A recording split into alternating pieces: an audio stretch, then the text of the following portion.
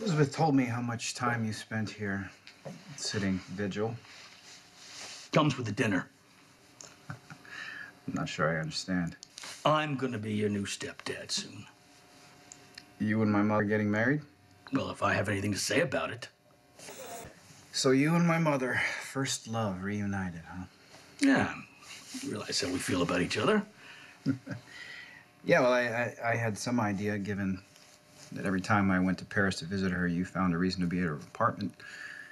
It was clear that every time I wasn't around, that uh, the two of you were spending quite a bit of time together. Well, it's, it's the best years of my life. You know, stops, and starts, and the detours. I think we're where we're supposed to be. Then why the doubt, Scott? Uh, you know, sometimes the mind gets to work working overtime. Take this stuff personally all the time. What do you mean? Well, you know, the stuff hits the fan, your sister goes missing. You'd think that your mother would turn to me. But no, she turns to Luke. Well, if it's any consolation, Scott, I, I never truly understood my mother's love for Luke. I don't hate the guy. I do. But, right. Um, but he is a difficult person to understand. Although he's never pretended to be anything else. I mean, he saved my life, put me through hell, back and forth. You know, I like to think that uh, that we've reached a place of mutual respect.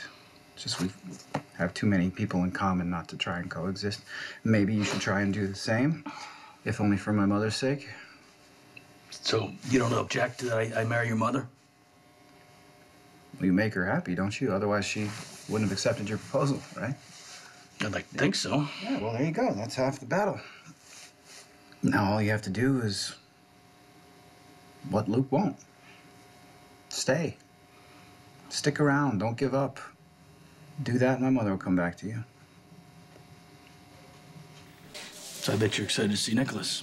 Yes, how is he? He's good. He's good. He's been asking about you. Oh, well, I should go see him now then. Okay. Okay.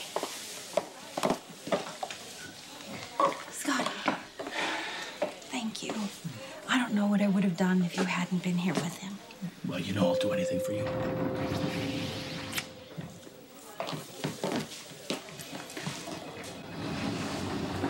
Aren't you gonna scurry after her? Let's get one thing straight, Spencer. You keep your hands off of Laura. Elizabeth, it's me. Uh, I know you said you would call me if you heard anything, but uh, i i if my mother calls, could you please just get. Never mind, she's here. You can go erase this. Hi. Hi. What a relief to see you awake. How do you feel? I'm fine. How's Lulu? She's being checked out as we speak. If anything would have happened to her, I, I wouldn't be able to forgive myself. This is not your fault. Yeah, well, Anna Devane is uh, passing along updates through the WSB, but there hasn't been many details. Is it true Helena is dead? Yes, she's dead. Nikolas, there's something else that I have to tell you. It's about your father. He's dead too. Oh. I killed him. So you're half Kate and half Connie. Ding ding. I already did. Kind of had a feeling it would end like this. He was your father. It's all right for you to let yourself feel this loss. Yeah, trust me. It's better than the alternative. There's no way he would have let you go alive, not without Helena keeping him in check. Well, I wanted you to hear it from me. Thank you. Wow. My father, my uncle, my grandmother. Everyone's gone. Alexis and I are the last of the family. I am your family. So are Lucky and Lulu. Don't forget that. I will. Please don't regret what you did, okay? I'm sure Stavros gave you no choice. That's not true. I had a choice. And I chose not to let Stavros hurt any of us ever again. You know, Stavros drugged Luke and me, and he held us captive. And then we got away and we found Lulu.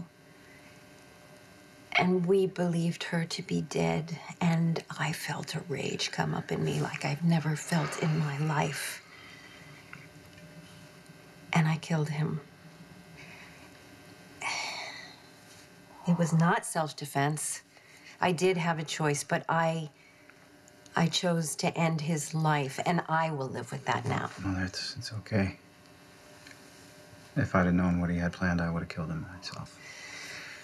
In fact, I should have when I had the chance, but like an idiot, I thought No, would. you're not an idiot. You're not.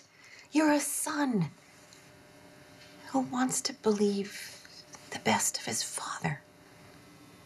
And that almost got my sister killed. I mean, I'm just glad that she's all right. What, there's that look again. What is it? What aren't you telling me about Lulu? It's good to see you out of bed, Nick. Thank you. Any word about Lulu?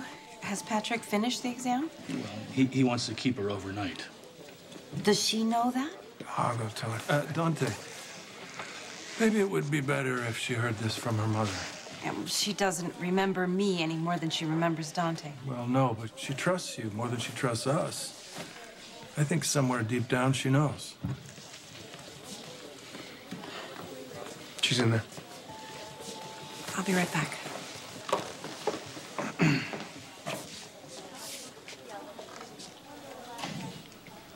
I just want to thank you for trying to warn us about Stavros. You're welcome. Just wish I would have been in time. You kidding me? You got shot in the process. I won't forget that. Lulu's gone. What?